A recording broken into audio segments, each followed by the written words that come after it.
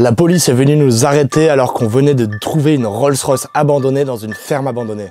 Ça a l'air d'être là. Oh pétard. Les amis, Rolls-Royce. C'est elle qu'on est venu chercher.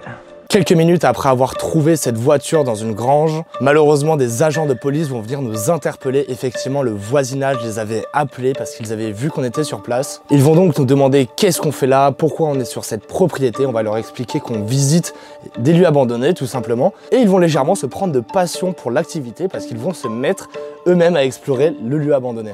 Ok, vous savez venir avec moi Vous Bien renvoyez sûr. le... Bien sûr, bien sûr. Je peux voir les photos? Après quelques minutes de discussion, les agents de force de l'ordre vont comprendre la démarche qu'on fait, c'est-à-dire juste prendre des photos de lieux abandonnés.